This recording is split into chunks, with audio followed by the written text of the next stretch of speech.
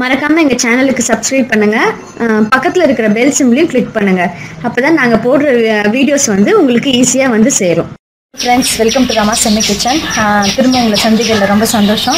இன்றைக்கி இன்னைக்கு நம்ம என்ன பார்க்க போகிறோம்னா கனவா வந்து கனவா ஃப்ரை பார்க்க போகிறோம் நீங்கள் எல்லோரும் கேள்விப்பட்டிருப்பீங்க கனவா மீன் சொல்லிட்டு. இது வந்து பார்க்கறதுக்கு இது ஃபிஷ் தான் பார்த்தா நல்லா கறி மாதிரியே இருக்கும். இதை க்ளீன் பண்ணி நான் ஒரு அரை கிலோ அளவுக்கு எடுத்து வச்சுருக்கேன். இது எப்படி செய்யுதுன்னு நம்ம பார்க்கலாம்.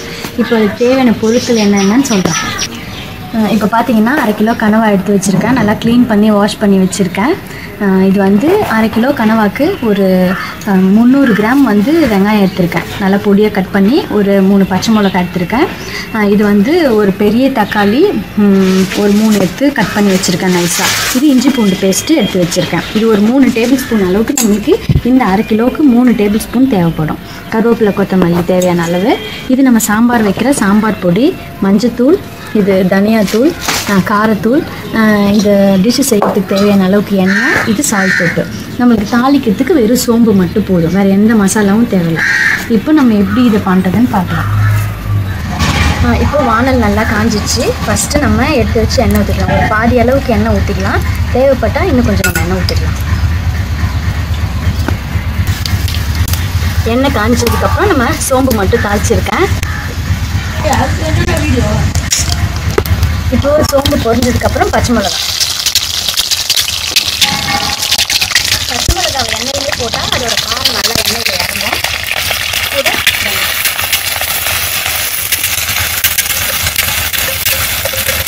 இதில் வந்து நல்லா வதக்கணும்.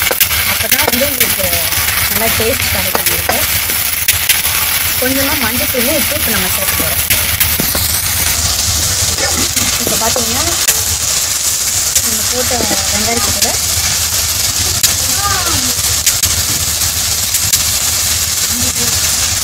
ஸ்வீட்லாம் எப்பவுமே நம்ம மஞ்சத்தூள் வந்து கூட போடணும்.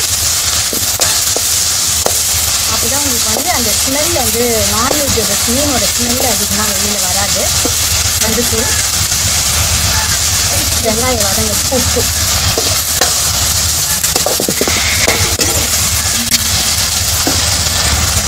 ம், இப்போ வந்து இது ரெண்டும் சேர்ந்து நல்லா வதங்கணும்.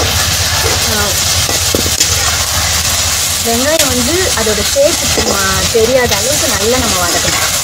ஒரு பத்து நிமிஷம் வதக்கினா தான் அதோட நல்ல குழையும். கேமரா பண்ணிட்டேன். இப்போ வெங்காயம் வந்து பாதி அளவுக்கு வத வதங்கிடுச்சு. இந்த ஸ்டேஜில் நம்ம இஞ்சி பூண்டு பேஸ்ட்டு போட்டுக்கலாம். நான் உங்களுக்கு டேபிள் மூணு டேபிள் ஸ்பூன் சொன்னேன்.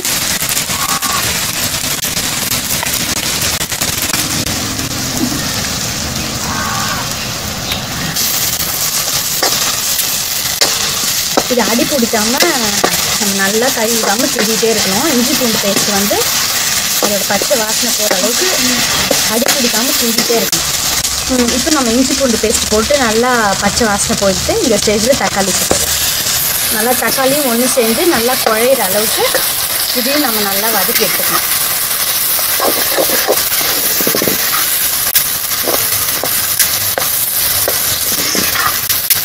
ஒரு அஞ்சு நிமிஷம் வதக்குனீங்கன்னா தக்காளி வாச பச்சை வாசனை போய் உங்களுக்கு நல்லா குழஞ்சிடும்.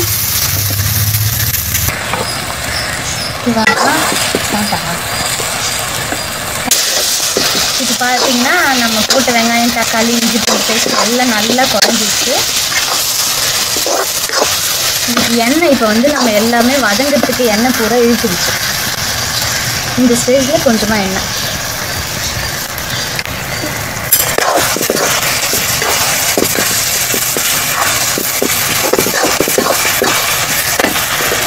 இப்போ நம்ம எடுத்து வச்ச மீனை போட்டு.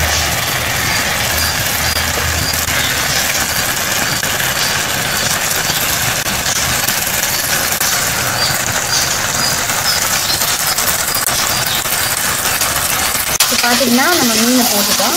இப்போ இதுக்கு தேவையான எல்லா மசாலா பொடியும் நம்ம போட்டுக்கலாம். இப்போ வந்து இது நம்ம வழக்கமாக வீட்டில் வைக்கிற சாம்பார் பொடி. இது வந்து ஒரு மூணு ஸ்பூன் அளவுக்கு போட்டுக்கலாம். அவங்கவுங்களுக்கு காரம் எவ்வளோ தேவையோ அந்த அதுக்கு தகுந்த மாதிரி நம்ம போட்டுக்கலாம். இது கொஞ்சமாக ஒரு வாசனைக்கு ஒரே ஒரு ஸ்பூன் தனியாக போட்டு காரத்துக்கு ஒரே ஒரு ஒரு டீஸ்பூன் அளவுக்கு காரத்தூள் இப்போ பார்த்தீங்கன்னா நம்ம மீன் போட்டதுக்கப்புறம் நான் என்ன பொடி போட்டிருக்கேன்னா இதால் ஒரு ஸ்பூன் வந்து காரத்தூள் போட்டிருக்கேன் ஒரு ஸ்பூன் தனியாத்தூள் போட்டிருக்கேன். நம்ம வீட்டில் சாம்பார் பொடி வந்து ஒரு மூணு ஸ்பூன் சாம்பார் பொடி போட்டிருக்கேன். எல்லாம் ஒன்றா சேர்த்து இப்போ நம்ம இதை கலந்துக்கலாம். இப்போ ஃபஸ்ட்டு கொஞ்சம் தான் நம்ம வெங்காயம் வதங்கிறதுக்கு உப்பு போட்டோம். இப்போ இந்த டிஷ்ஷுக்கு தேவையான அளவுக்கு உப்பு. உப்பு காரம் பார்த்துட்டு நம்மளுக்கு தேவைன்னா இன்னும் கொஞ்சம் போட்டுக்கலாம். இப்போ இதில் கொஞ்சமாக தண்ணி ஊற்றி நல்லா இதை கொதிக்க விட்டோன்னா உங்களுக்கு மீன் நல்லா வெந்துடும்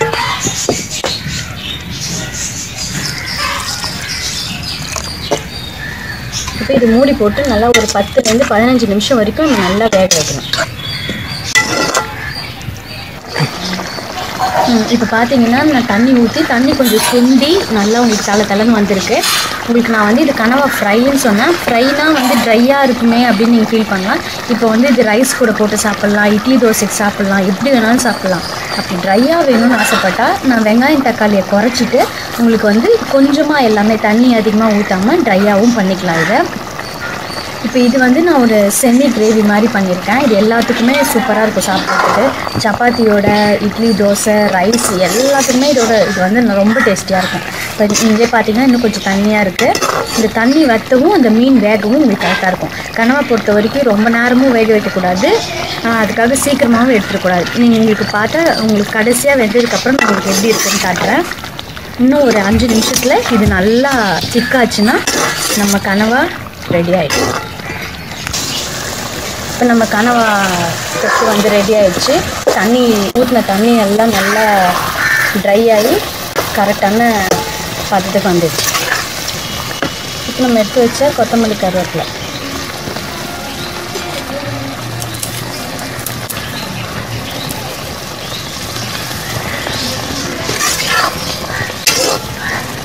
இப்போ நம்ம கனவா ஃப்ரை ரெடி ஆயிடுச்சு.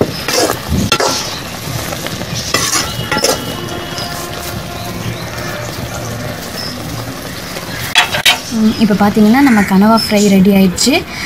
கண்டிப்பாக இதை நீங்கள் ட்ரை பண்ணி பாருங்கள் இது எல்லாத்துக்கூடையும் சாப்பிட்றதுக்கு நல்லா டேஸ்டியாக இருக்கும். இதை நீங்கள் ட்ரை பண்ணி பார்த்துட்டு உங்கள் ஃபீட்பேக்ஸ் அண்ட் கமெண்ட்ஸ் எங்கள் கண்டிப்பாக அனுப்புங்க. மறக்காமல் எங்கள் சேனலுக்கு சப்ஸ்கிரைப் பண்ணுங்கள் அடுத்த ஒரு நல்ல டிஷ்ஷில் உங்களை நான் சந்திக்கிறேன். பாய்